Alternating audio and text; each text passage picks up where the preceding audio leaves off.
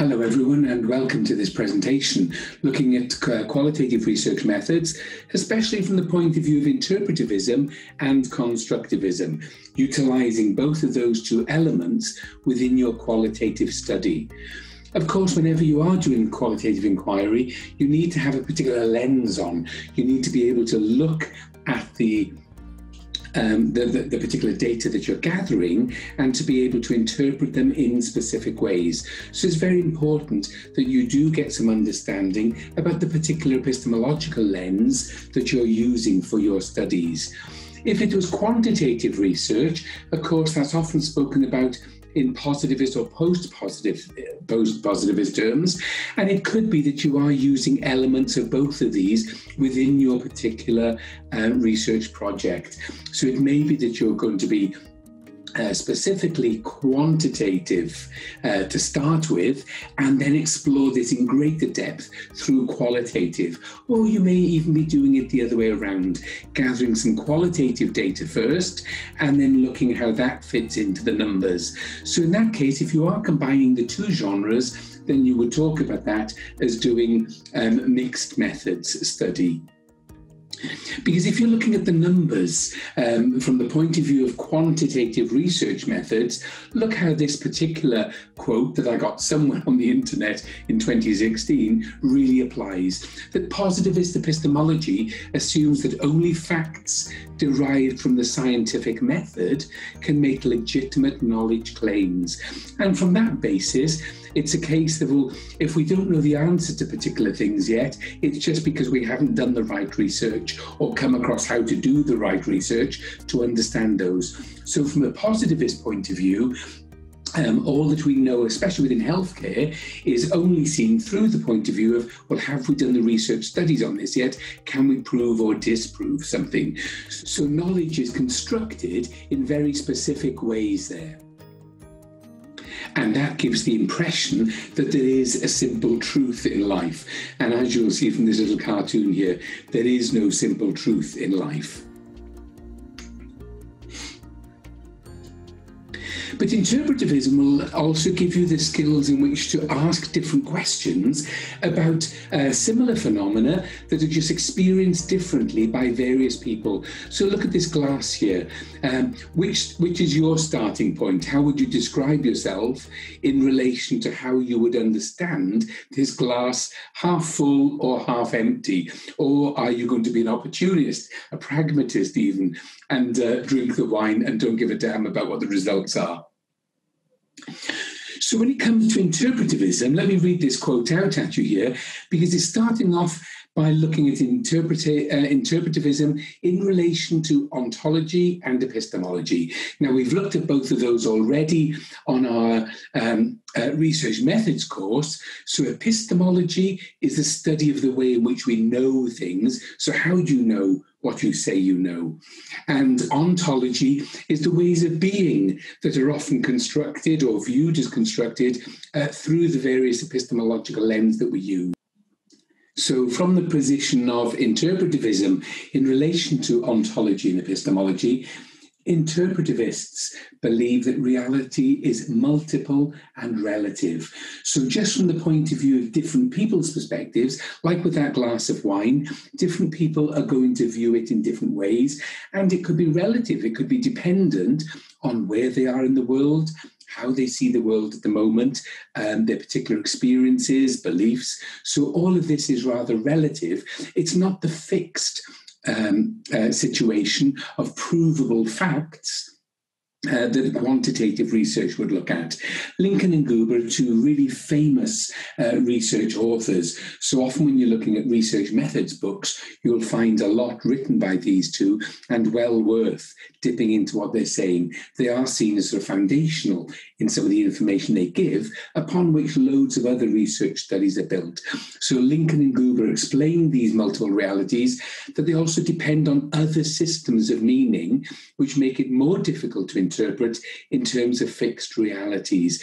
So even from the point of view of gender differences, for example, people of different genders may perceive the same reality going on, but in very, very different ways. So meanings are constructed constructivism. Uh, meanings are constructed by individuals, and it's when their wider societies then take on that meaning that's when it's often called constructionism.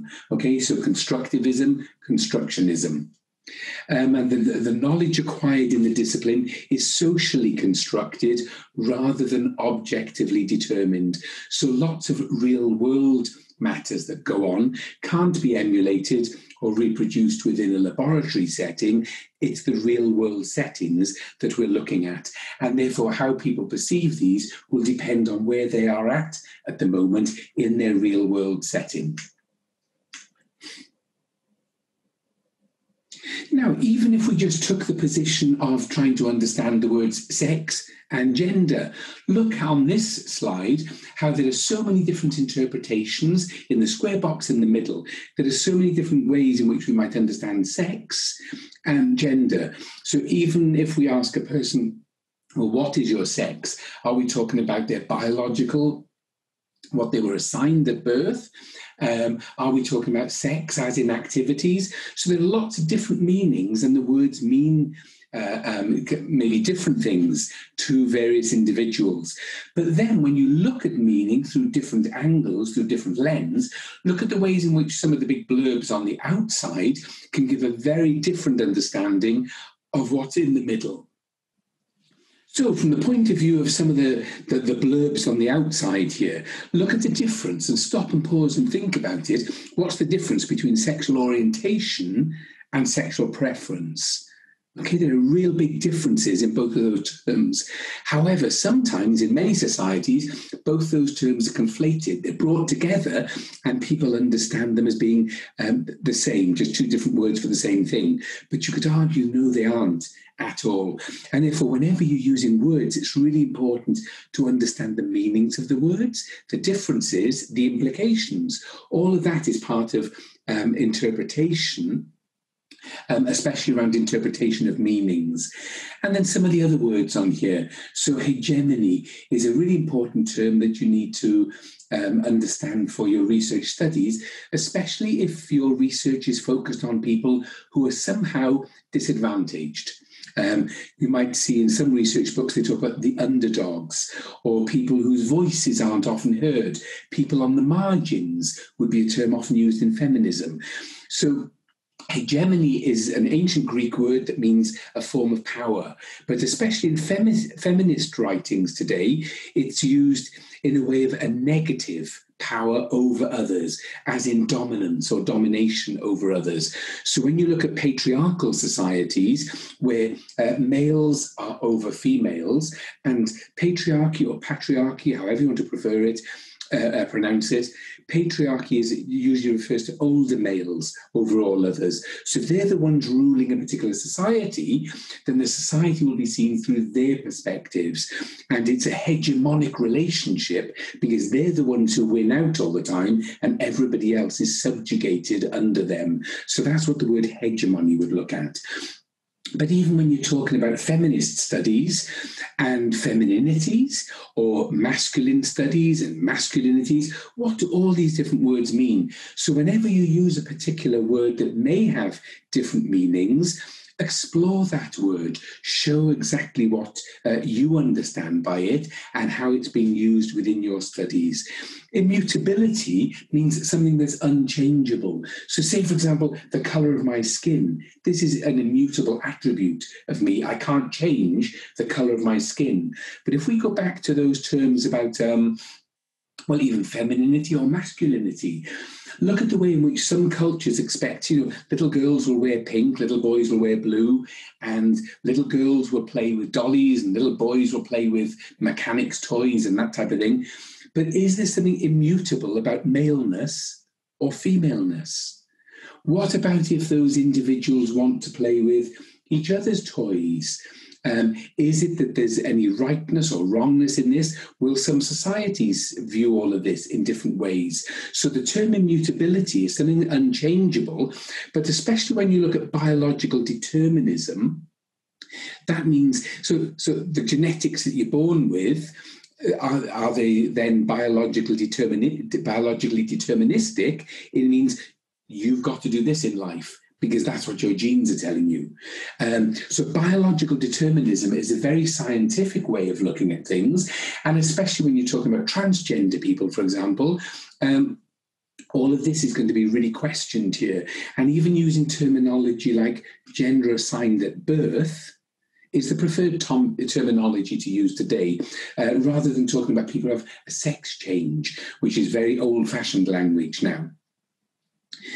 Um, and especially going back to the sexual orientation and preferences. So the orientation is the way a person's facing. Literally means the way you're facing in life. It's um, an orientation. Whereas preference is what you choose. Um, you might choose something today, you may not want it tomorrow. So there is a difference there. But when people conflate those and bring them together and think that they're both identical ways of saying the same thing, no, they're not, because nobody chooses our sexual orientation.